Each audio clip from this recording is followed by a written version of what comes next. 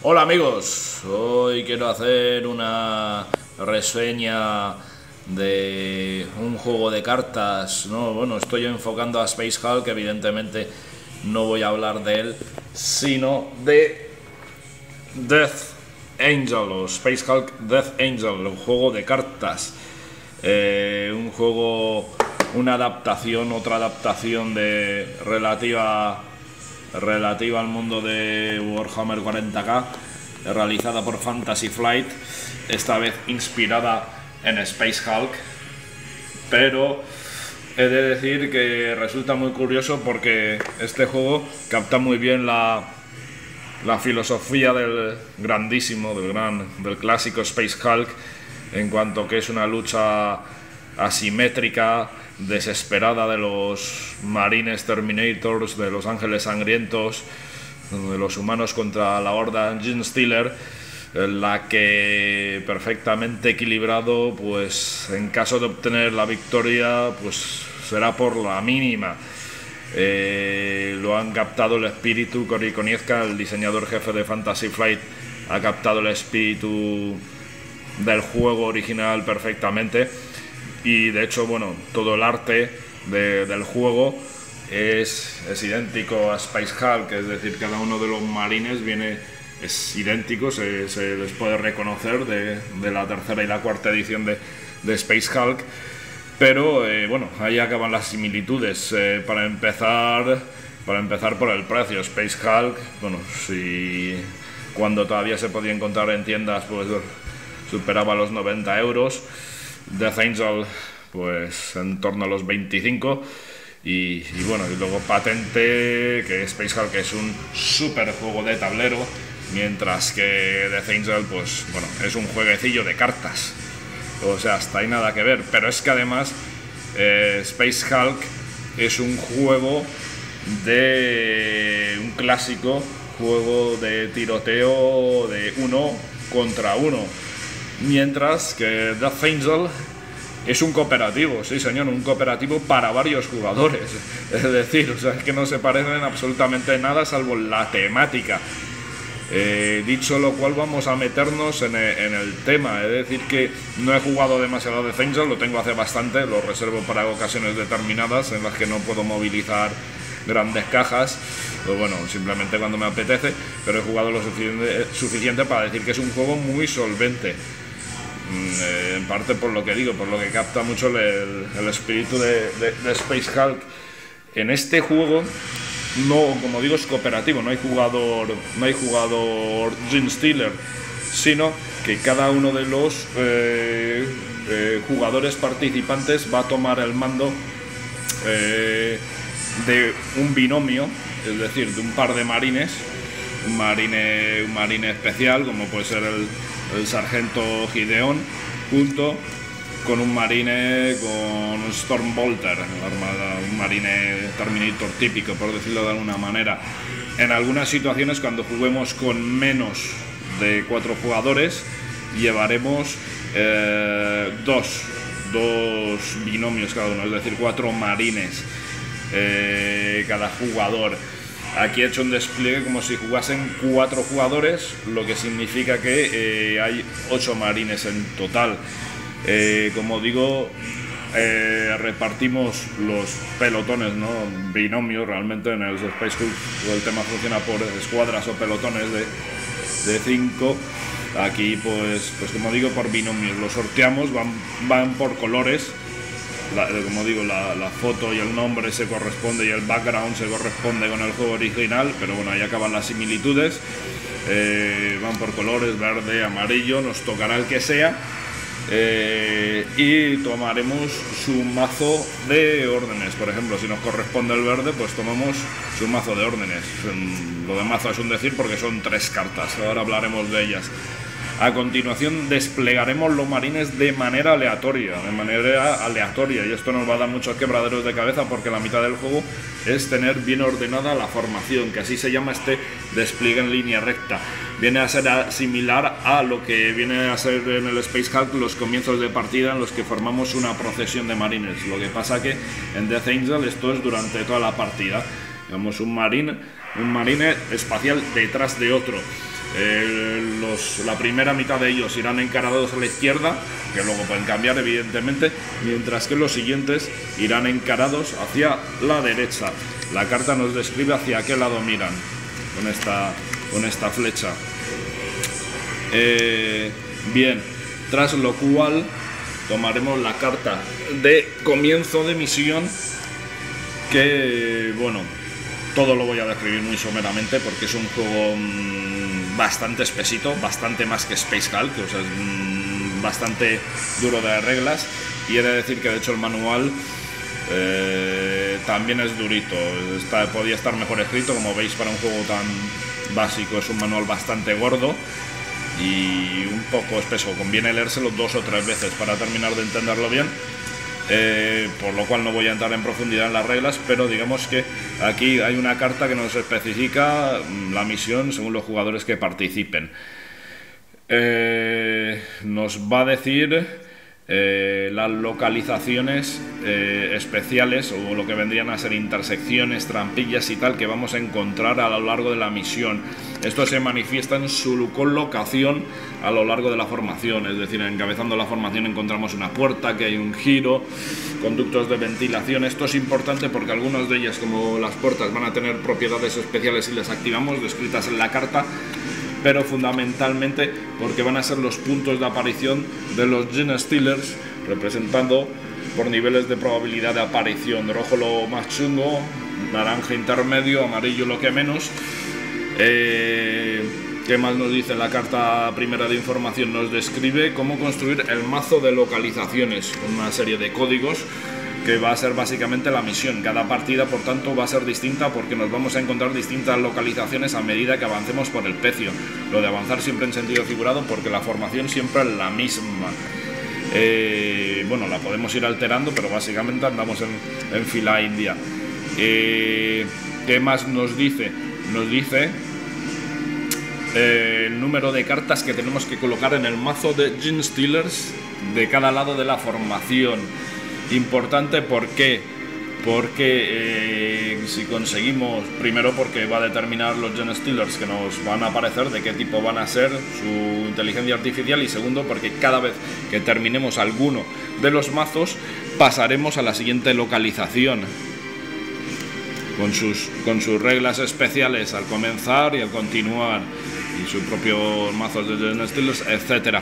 Por último, esta información hay que conservarla siempre, que es el número de estos triangulitos cuando nos aparece una amenaza mayor o menor de Gen Steelers, cuántas cartas desplegar. Bueno, eh, y, que lo haremos desde un mismo comienzo, por ejemplo, nos... Eh, eh, perdón, me estaban perdiendo, sí, como digo, es un juego complejo, sí.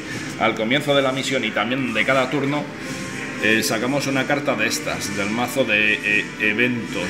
Al comienzo, antes de comenzar la misión, todo esto lo ignoramos, son cosas que van a ocurrir los eventos y solo lo vamos a sacar para comprobar el despliegue de alienígenas.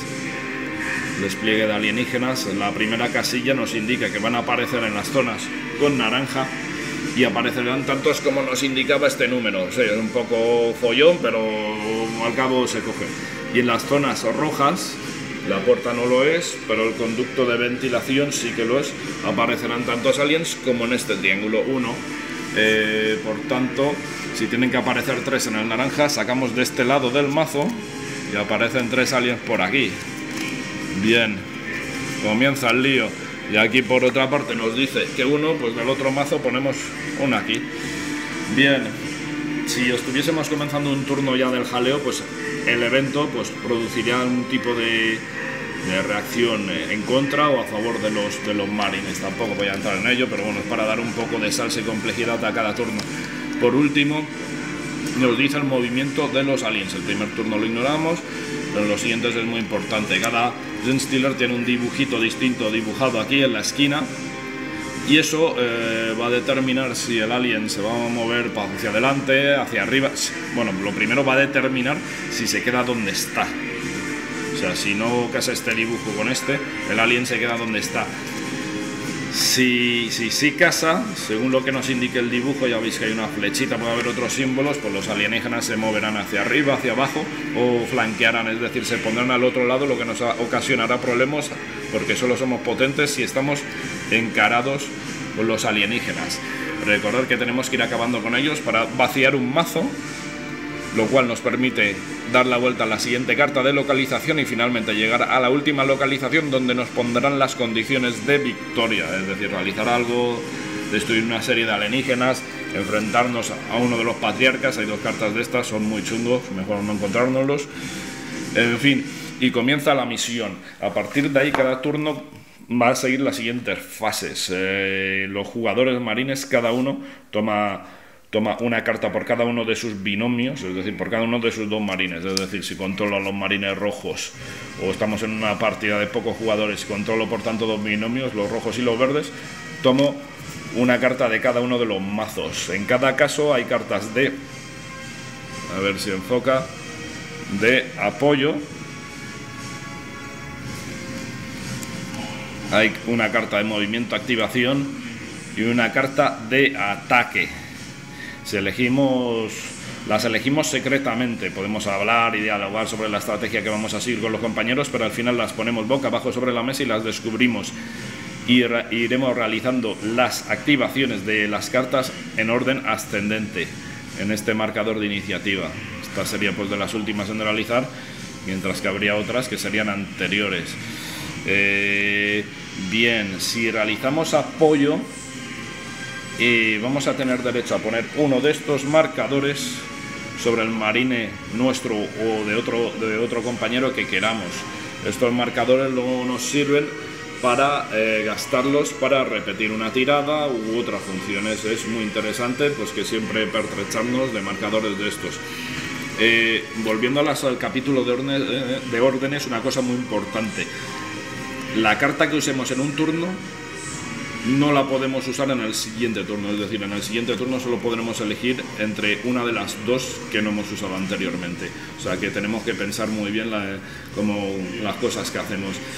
Eh, aparte, cada carta de apoyo, en, el caso de cada binomio, son distintas y, suele la, descripción especial que viene suele ir determinada en función del marine, digamos, característico del binomio. Cada binomio, como decía, lleva un marine con Stormbolter y luego un marine pues especial, ya sea un sargento, un psíquico, el lanzallamas, el cañón de asalto, en fin. Eh, otra opción es la carta de movimiento o activación, también con su propio texto específico del binomio, pero que básicamente nos permite mover uno de los personajes, girarlo o ir desplazarlo un espacio. Esto es importante porque, porque bueno, en las cartas de los marines nos especifican el alcance que tienen, por ejemplo, dos, este puede disparar a lo que tiene delante y un dos espacios más allá. Eh, en cambio, el sargento Gideon tiene alcance cero, solo se puede enfrentar con la gente que tiene exactamente delante. Eh, claro, con lo cual estos dos no podían atacar a ninguno de los Gen que están aquí situados. Eh, por ejemplo, si el que tenía alcance 2 estuviese aquí, pues sí que llegaría 1 o 2 para disparar a estos. Mm, entonces, pues va a ser muy importante cómo los movimientos, sobre todo para reorganizar la formación, y, sobre todo los encaramientos para hacer frente a las amenazas que tengamos a cada lado. Eh, también, por supuesto, como digo, realizamos el texto en concreto. Y por último, la que tiene más chicha, por supuesto, las cartas de ataque. De ataque, esto en el caso de, los marines normales con el Stormbolter nos permite tirar un dado. Eh, por, supuesto, es un dado especial de, de ceros a 5 y luego tiene algunas calaveras. En el caso de los chicos que con Stormbolter, las calaveras nos determinan el acierto, que hemos matado a un alien. Eh, sin embargo, sin embargo la, lectura de la carta nos especifica cómo funciona el ataque del marine característico, el psíquico, cañón de asalto, lanzallamas, ahí pues más que las calaveras, puede que las calaveras sean importantes o más probablemente serán importantes los números. Eso ya no voy a entrar en ellos porque, como digo, son seis binomios, sería muy largo. Eh, cuando hayamos terminado de jugar todas las cartas, es decir, todos los binomios se han actuado de menor a mayor eh, iniciativa, pues les toca a los chicos malos. Los chicos malos nos van a atacar. ¿Y cómo es el ataque? Pues es muy chungo. Por ejemplo, si un marine está encarado con unos aliens o le atacan por la espalda, da igual. Ese marine tiene que tirar un dado, como digo, numerado de 0 a 5 y solo va a sobrevivir si saca una puntuación mayor que el número de aliens con los que esté encarado. O sea que, como en el juego original, las bajas son abundantes. Y eso pues básicamente es el turno de los Gene Steelers, tal lo cual como decía sacamos una carta de evento, resolvemos el texto, mm, puede influir en el mismo momento para el turno siguiente, hacemos aparecer más aliens y hacemos por todo esto por el orden que digo, hacer que se muevan en el caso de que se muevan, comprobamos si se mueven o si flanquean. Y básicamente eso es todo, que no es poco. Las veces que he jugado, pues al final pues solo he perdido o hemos ganado, pero con un marino o dos en pie y a la desesperada, exactamente como en el juego original. Eh, ¿Recomendar The Angel? Bueno, yo particularmente este tipo de juegos, los de cartas, pues al final siempre me quedo un poco con la sensación de estar jugando un, solitario, ¿no? aunque sea acompañado, ¿no? un montón de cartas sobre la mesa y tratando de resolverlo. Pero la verdad es que sí que incentiva mucho el juego cooperativo, me mola, me han molado mucho las partidas, están muy chulas, no es un gasto grande.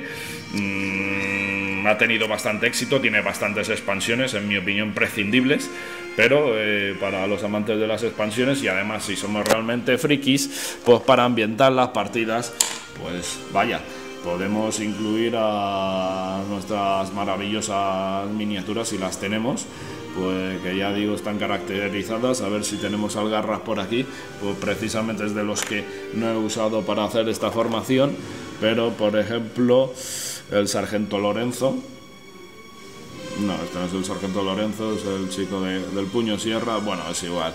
El caso es que podemos ambientar las partidas haciendo nuestra propia, nuestra propia formación. Sí, este sí que es el sargento Lorenzo. Iría pues, pues aquí. Y, bueno, es un detalle gracioso, aunque por supuesto absolutamente innecesario para efectos efectos de partida. Lo mismo pues con los Steelers, aquí, había, aquí habría uno, ahí los tenéis, los chicos malos de, de la galaxia los podríamos poner y quedaría mucho más vistoso y mucho más caótico también.